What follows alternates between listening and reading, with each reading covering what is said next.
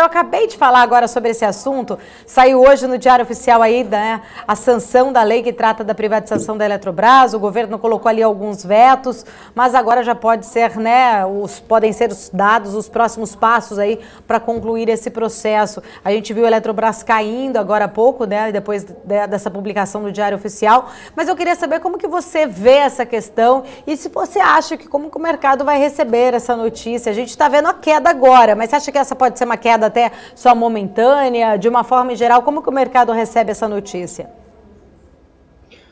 É, na verdade a gente tem que avaliar os vetos com cuidado, né? De fato, tem um ou outro que pode acabar é, pesando um pouquinho sobre o que o mercado estava esperando, mas acho que em geral é mais uma movimentação normal. A gente já teve os papéis da Eletrobras subindo muito com o andar dessa medida, né? Uhum. Então a gente sempre tem, tem aquela questão também, né?